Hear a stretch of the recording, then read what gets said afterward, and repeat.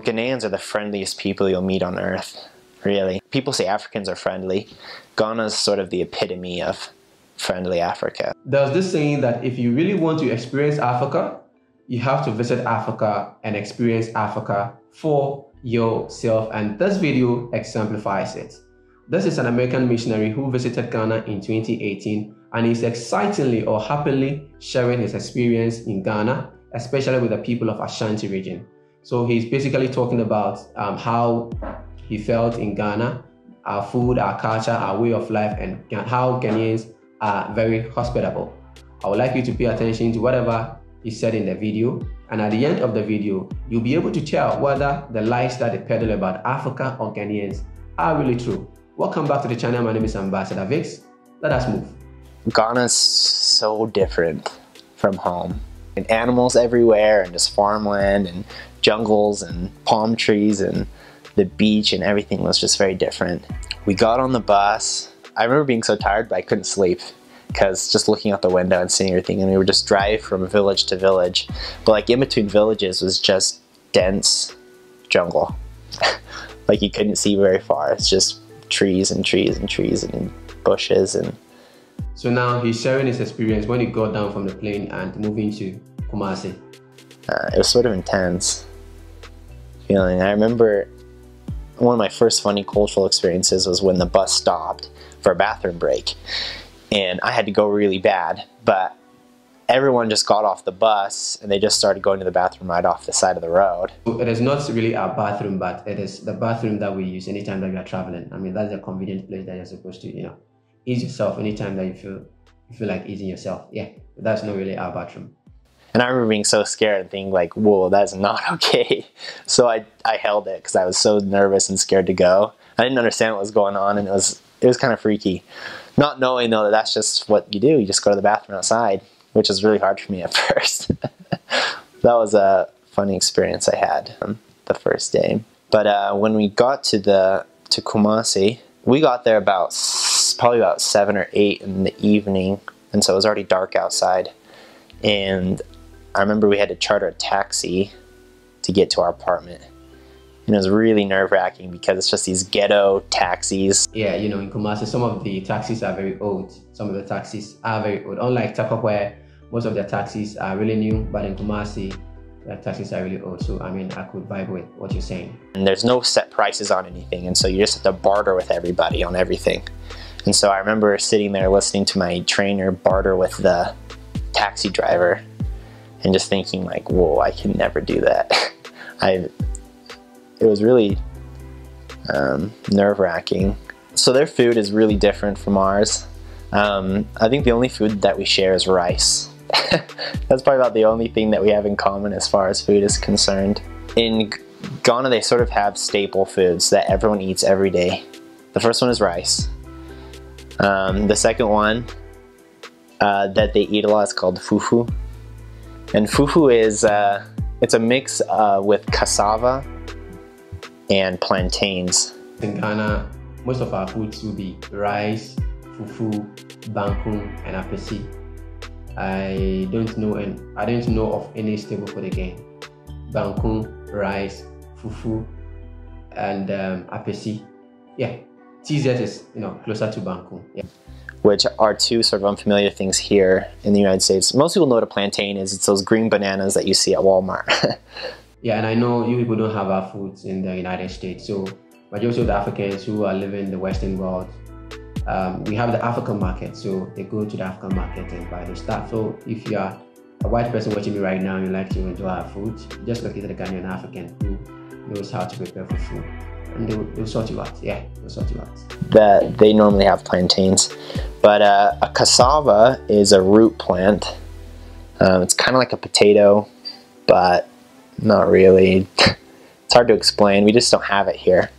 But what they do to make fufu is they boil the plantain and the cassava in a big pot, and then they pound it.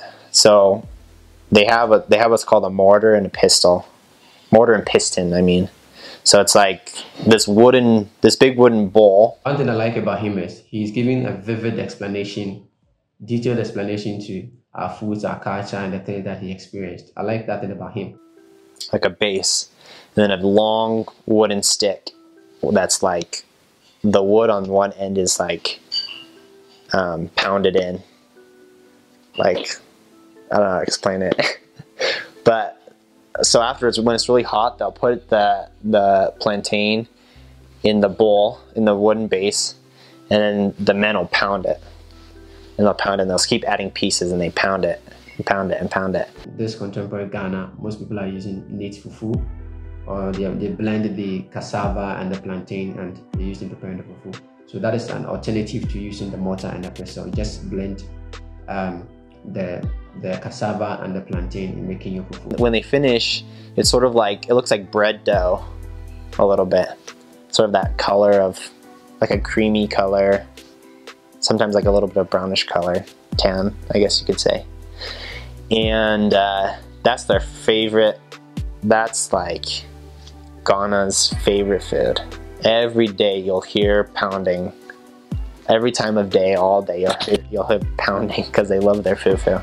Most people eat fufu, but personally, I, I don't enjoy fufu, but most people in Ghana really like fufu. And what they do is uh, they pour soup on it and you eat it with your hands.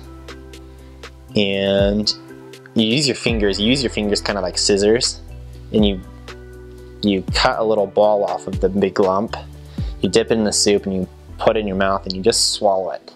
You don't chew.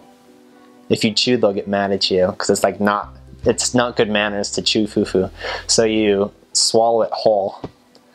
And the first time you eat fufu, you'll you'll gag. But uh, yeah, the first time I ate fufu, I gagged. I almost threw up. I actually did throw up in my mouth. And then I, I didn't want to make them feel bad, so I just swallowed it again and I just kept eating. But I didn't finish my lump. It was pretty bad. Even though I, I ended up loving it. I, I don't think so that the first time you eat fufu you die, but I mean it is um, personal to each and every one. Me personally, I've not even eaten fufu before, so I don't know what you're talking about. They have a lot of different ethnic foods. They have one that's called banku, and banku is uh, that same cassava plant, but they grind it and they dry it out and then they once it's all dry then they add hot water to it and they stir it in this big metal pot and they they stir it like this. Like they push it up against the metal pot towards themselves. And it sort of looks like fufu a little bit but it's white. And it's a little bit more sticky than fufu is. And it's the same thing now. You dip it in soup or stew and you swallow it whole. And Banku is a little bit harder for new missionaries than fufu because it has a sort of a sour taste. Because when while the cassava is drying, it becomes a little bit like fermented, and so it has a little bit of a sour taste. It's better to swallow it though, because if you try to chew it, you'll really get that sour taste a lot more. But if you just swallow it and get it over with, then you won't taste it as much. Banku is my favorite. I think when I interviewed Chess and Chance, they also gave a comment about, you know, our fufu. It's really good. It's really good, yeah. Here's, here's a word they use that we don't use. We have peanuts, but they call them ground nuts. But it's, it's the same thing. And then they have what's called ground groundnut paste, which is like peanut butter, but they don't add any sugar. They don't add anything to it. They roast the, the ground nuts or the peanuts, then they grind it in a grinder, and then it comes out. Uh, it's not as thick as peanut butter. It's a little bit more watery than peanut butter, but it's virtually the same thing. And so they use it a lot with soups and stews and things. They'll use that groundnut paste. And they have this food, it's called eto.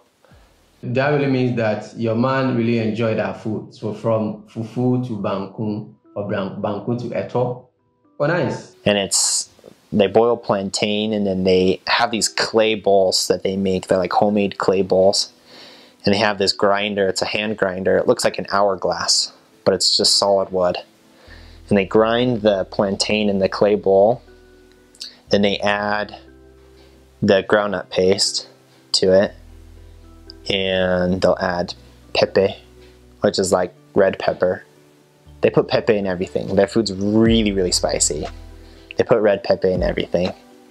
And so it sort of has like the bananas and peanut butter taste but not as good because it's plantains and groundnut paste.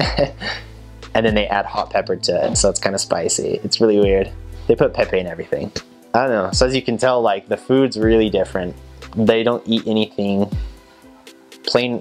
They have plain rice, but they they even eat their rice differently than we do. They have they have what's called stew.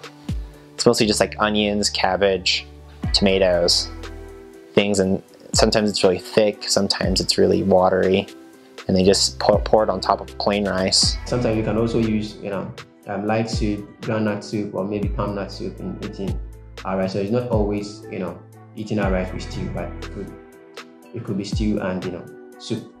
No salt or anything, and then they just eat it. I think that's why they use a lot of pepe because they don't use they didn't use as much salt. So they think that if there's no pepe, if there's no spiciness in it, then it doesn't taste like anything to them. And so that's why they put pepper in everything. Everything. Even they have porridge with pepe in it.